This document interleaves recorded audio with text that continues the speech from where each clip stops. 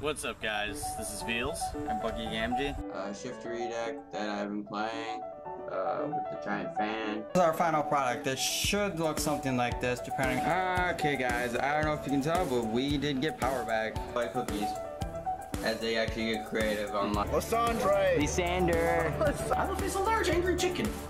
Fried chicken is delicious. Gain an extra level if you if you defeat it with fire or flame.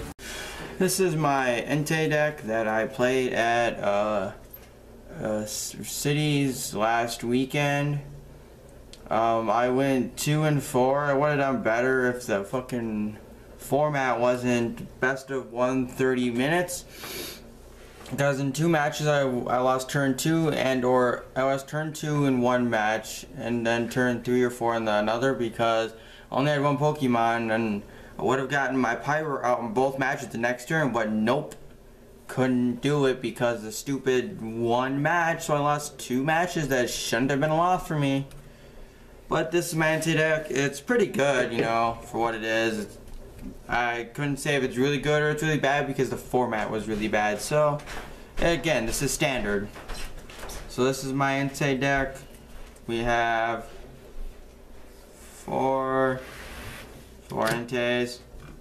This is the this is the break one that got the ability allows you to have two tools attached to it at, once. And then we've got the two you got a 2-2 line of the Pyroar with the Intimidating Mane, which really would have helped me in two matches, but nope. One more turn wasn't enough. And then to heal, we have the three Jynxes because on the second attack for uh, the Heat Tackle, you flip a coin, you can end up doing 30 yourself, and this is another way to heal yourself to get that damage off. So that's the Pokemon. Moving on to the supporters here, we have three um, blacksmiths help to help power us up because the heat tackle is four, but that's mainly not the attack we're doing. We're doing the the first attack, which was um, which is flame screen, and it does 30. Um, your next opponent's attack is reduced by 30. And then we have the two uh, Shaunas for draw. We have a Professor uh, Birch's observation to help that draw. Um, the one Lysandre to get those crucial knockouts. Sky, one Skyla because we have a couple cards that we're running one of, so it's good to get that one of card need or something like an Ultra Ball to get the Pokemon we need. And then the three Professor Sycamore for more draw power. Um, that is our um, supporter line. For our trainers is a little more hefty because usually it is most decks. We have three Ultra Ball. Oh, four Ultra Ball, I mean, sorry about that. Standard, most decks you get Pokemon out, you know.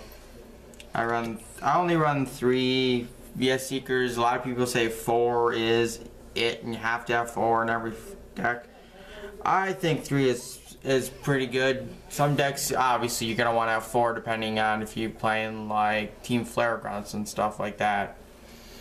Um, to revive to help get back like an Entei or a Litleo or something, just in case like some one of them are prized and whatnot.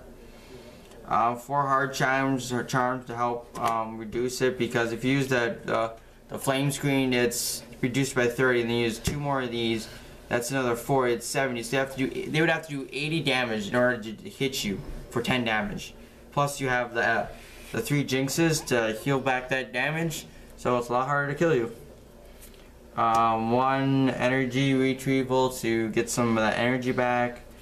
Only to um, muscle bands because our main attack is doing only 30, but you really want to do it so they can't do as much uh, any damage to you. Another thing is you can put them on the Pyros to help them get more damage done to you. I mean, down to, the, your opponent. Uh, two trainers mail to help just get through your deck, get the cards you need. Uh, one professor's letter to get that energy.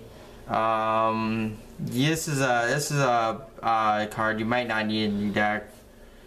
Um, two battle compressor to help get energy in the discard pile for a blacksmith or trainer in the discard pile that you need to get to use with your VS seekers or whatnot.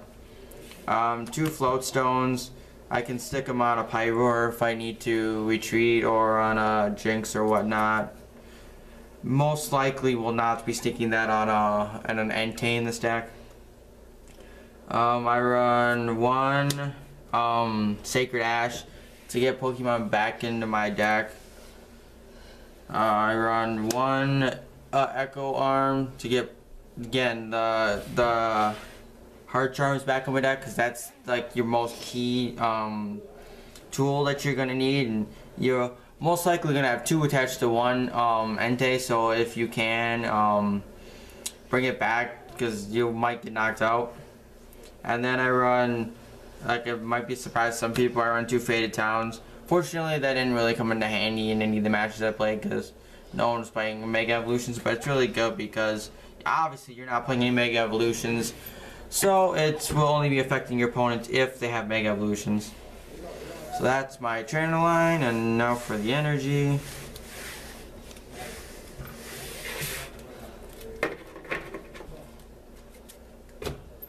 My energy, I run one, two, three, four, five, six, seven, eight, nine, ten, eleven. I run 11 fire energies.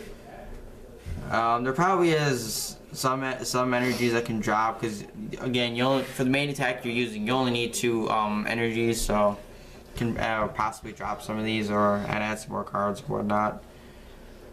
Maybe add an assault vest or two because those are pretty good. Um, so yeah, that is my Entei deck that I played at a region, I mean at a cities last week, and I went two and four. Would have done better if it wasn't uh, one. It wasn't best of one 30 minutes. Well, yeah, I hope you enjoyed, and I hope you give this deck a try. Um, don't forget to like, follow, subscribe, Twitter, Facebook, Twitch, all the above, and don't forget definitely subscribe to our YouTube channel and we'll have more like this for you in the future.